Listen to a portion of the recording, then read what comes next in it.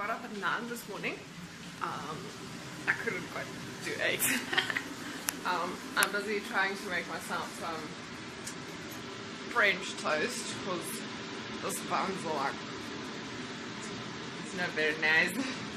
it's, it's okay, but yeah, I don't know. I don't have butter, so it's dry and not so much fun. So um, I also got up to wash my hair because I didn't, I don't know why, I didn't buy myself a hair dryer just yet, so I need some time for my hair to dry before I go to work. Um, it's actually a nice day out. It's, no, it's quite a nice day out. Um, we have training this morning for the new curriculum and then I have one observation and my first class. So hopefully today I will have some time to take some nice pictures and to walk around a bit and to explore or something, I don't know. And tomorrow I have off, so tomorrow I can explore around here. So it's all fun times and I hope you guys have a wonderful day and that you have a lot of fun stuff to do. Bye! I'm ready for my day. I have my hair straight. Small victories, small victories. so it's about 5 to 12 at this moment, so I'm going to take a leisurely stroll towards the metro and yeah, I'll be in time.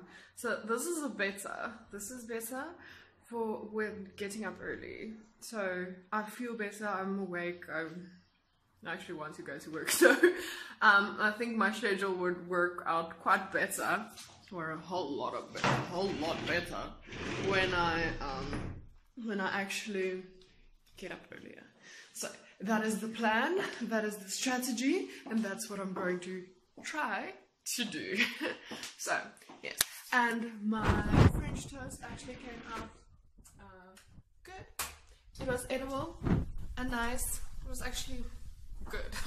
so um, now I know what to do with rice buns that's not very juicy or nice So that's fine, yeah.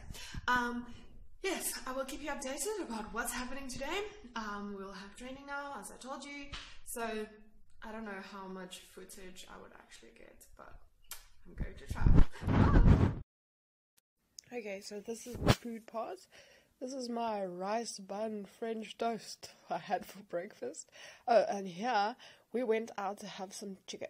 Now they give you this packet with this gloves and stuff in, so you can eat the chicken by hand without getting filthy. I think it's amazing. This chicken is so good. You eat it with a little, um, like a toothpick, a long toothpick. It's very fun. um, here a little boy was like talking to me and I had to like reply to him. It was very cute. My first class, yes. So it's been so much fun. So yeah. Um, and outside the window, there's this random old ladies doing this type of military dance thing, but it's like not a class or something. It's not um, like orchestrated. They just randomly do this. It's like a flash mob. I'm home after my first day of getting class. It's been good. My first class went quite well. Um, their only feedback was that I must speak a little slower and that I um, one of the girls said she wanted to talk to me more, not to her partners, but it's an AC class, so it's an activity class.